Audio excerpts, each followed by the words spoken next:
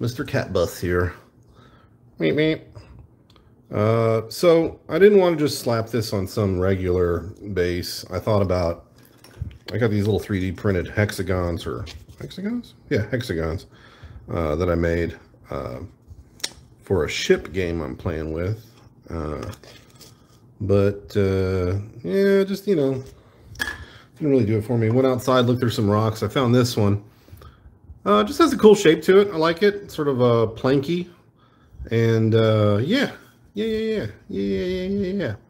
So, uh, by the way, I washed this. Um, I would never recommend, for those of you who like to grab stuff out of your yard, I would never recommend you just grab stuff out of your yard and immediately start painting on it or, or scratch building with it. Um, only because, well, there's a couple, couple of reasons. Uh, first, you don't know how many hundreds of years of dog and or bird fecal matter or whatever creature has crossed the path of this rock has been imbued in the pores of this stone. So you certainly don't want to be touching that stuff um, or or having it, you know, inside. Plus, you don't you don't know what kind of chemicals are on here, and uh, that and there's just it's going to be covered with dirt. It's going to have all kinds of uh, debris on it, which don't really do well when you're trying to. Uh, what was that? That's something I didn't get. Don't really work when it's just stuck in the rock. Um, you can see uh, there's some scratch marks on here, little bitty scratch marks. Uh, I hit this with a wire brush and uh, some hot water and some disinfectant soap to uh, clean it up and let it dry out. And it's it's pretty dry now, but I really like the way the fact that this has got a nice flat surface. It kind of has a um, a little bit of a wobble to it, but not so much that it's uh, irritating. It'll it'll sit still if you leave it alone. But you know, it'll sit relatively flat and uh, that little bus will just sit right on there like that pretty nicely. See that? And I, what I thought I'd do is I'd sculpt some grass around that base and then mount that on top of that and do a kind of a little scene. Um, if you haven't uh, seen uh, My Neighbor Totoro, it's a Ghibli classic, a Japanese anime classic. Um, and uh, yeah, uh, highly recommend it if, uh, especially you got little kids, you like to watch that sort of thing. Um, not a lot of prep I'm going to really do to this. I'm probably just going to spray paint it. But, uh, yeah, there's a, there's a few things that will probably need to be done here. Uh, I'm just going to literally uh, help out some grass and then pop this guy on there. I also thought maybe I'll use this kind of curved in section so it stays completely flat. But I don't know, that kind of poses more problems too. Then I have to build up a lot more putty. Let me see if I, let's see if I can try this way. It's kind of cool. That might, actually, you know what, that might work too. It definitely makes it more stable.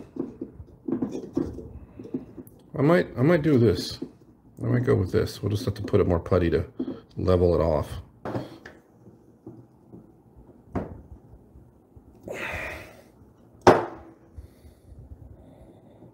I think that's where we want it. Okay. And we'll mix, sort of mix this in with it. Get a little bit more grass on the edges and dirt. And I want it to be kind of natural looking. So let's let's poke into this. I don't want it to just look like a pancake sitting on top of a rock, right? Smooth it in with a little moisture from an unknown source. so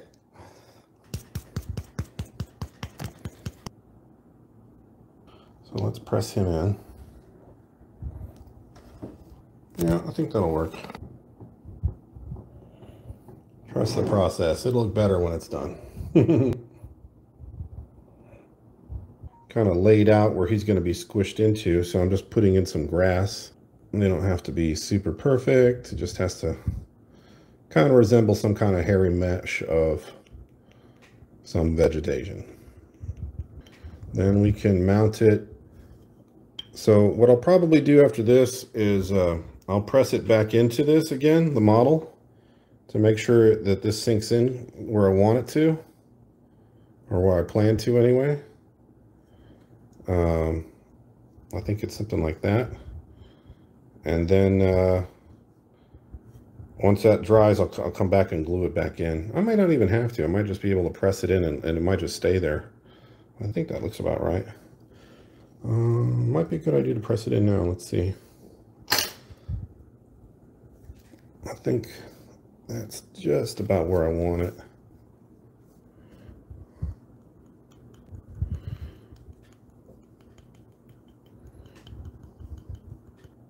I think that's probably okay.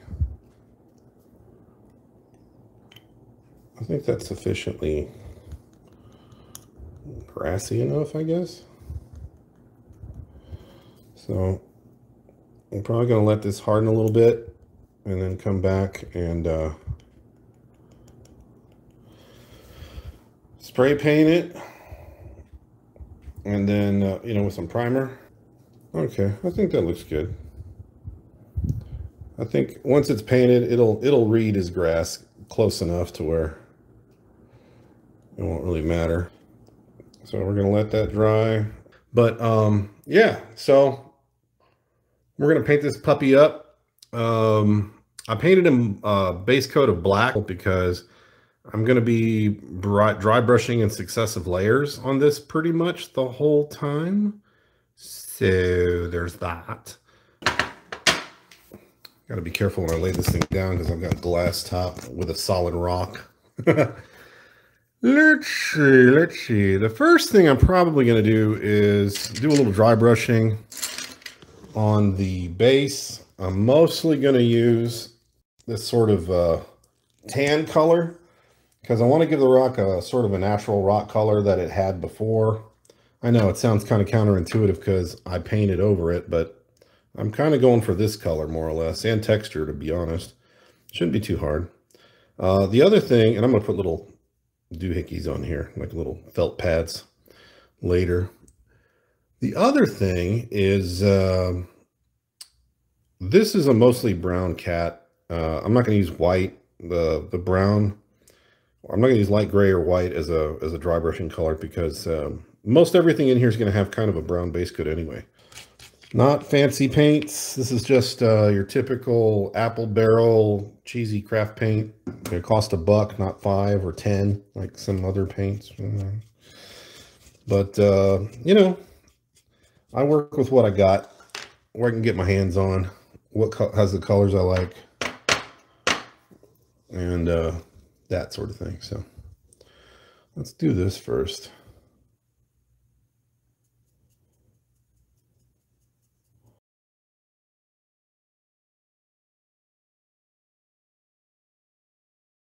Honestly, can you tell much of a difference between what I just painted and what the actual rock surface looks like? You can, but this and this are going to look almost identical, if not completely identical by the time I'm done. Some parts already are.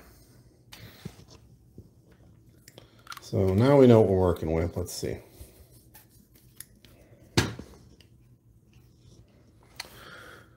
Kind of want to do the grass first. So let's do that. But Mr. Baltz, you didn't even let the first layer dry. Eh, it's dry enough.